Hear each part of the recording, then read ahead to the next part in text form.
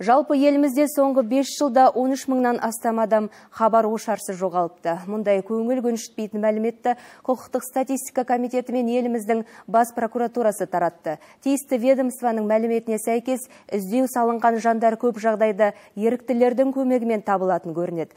Былтырғы жылдың өзінде белсенді жастар үйінен шығып, қайтып оралмаған 190-ға тарта адамды табуға септескен. Әрдайым қол ұшын созуға даяр еріктілер жайында тілші тарқатады.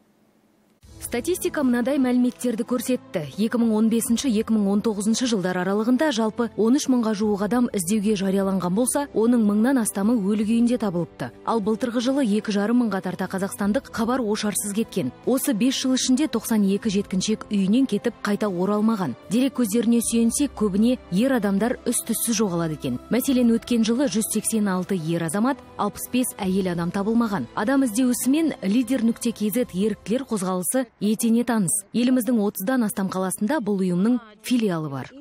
Поступает информация. Алдымен адамның жоғалғандығы туралы ақпар келіп түседі. мұнымен айналысатын арнайы адамдарымыз да бар. олар ақпарат жинап қоңырау соғады. іздеу салынған жанның үйінен қашан шыққаны қайда барғаны шамамен қай ауданда соңғы рет болғаны бәрі тұтас анықталады. артынша бірден іздеу тобы құрылады. егде адамдар мен балалар жоғалса біз бірден іздеуге шығамыз. бұл ретте полиция қызметкерлерімен үнемі байланыста жүреміз. 2019 жылдың өзінде лидер нүкте kz белсенділері 190 адамды табуға көмектесіпті. Биыл 19 адамды іздестіру үстінде. Еріктілер құрамында қазір 80 адам бар. Олардың қатары күн санап артып келеді.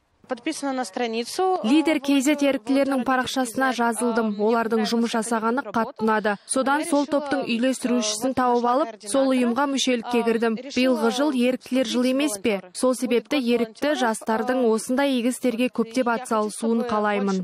осыдан төрт жыл бұрын александр бочаровтың бауыры валерий харланов жоғалған болатын. Алматы облысының тумасын іздестіруге бәрі атсалысқан. Олардың қатарында еріктілер де болған. Сегіз ай өткеннен кейін валерий харланов өлі күйінде табылған. Александрдың айтуынша ағасына іздеу салынған кезден бастап бұл іске алғашқылардың бірі болып осы ерікті жастар белсене кіріскен еді дейді.